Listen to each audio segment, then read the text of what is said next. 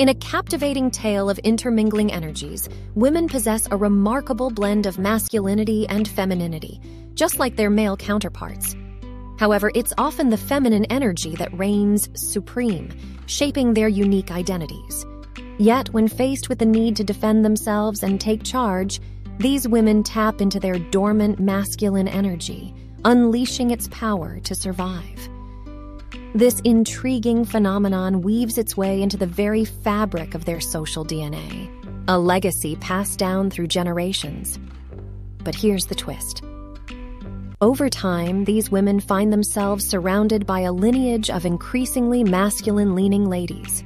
Despite their best efforts to sculpt their appearances with plastic surgeries and intense workouts, something crucial remains untouched their inner essence.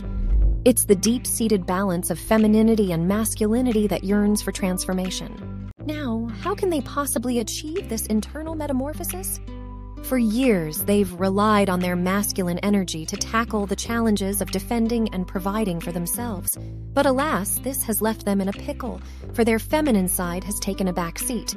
And so, they find themselves in a rather comical predicament. Despite outward beauty, the men of the future fail to see the allure.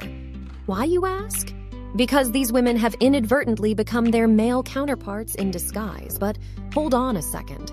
It's not just the women who bear the burden of transformation. In this bizarre turn of events, the onus falls on the men to rise above the ever increasing masculinity of their female counterparts. Unless they embrace their own innate masculinity and find a way to outshine the ladies, well, let's just say they risk becoming quite unappealing to one another. And that, my friends, could potentially threaten the very existence of our beloved humanity. So, picture a world where men are desperately trying to out masculine women, and women are frantically trying to rediscover their inner femininity. It's a topsy turvy dance of cosmic proportions. In our peculiar predicaments, we hope that in the end, we'll strike a balance that rekindles attraction and saves our species from an unintended fate.